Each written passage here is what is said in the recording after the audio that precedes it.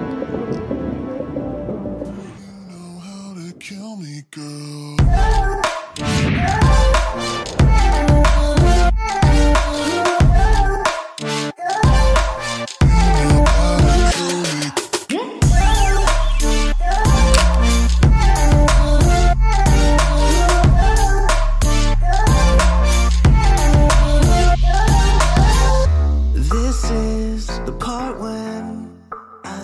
you go.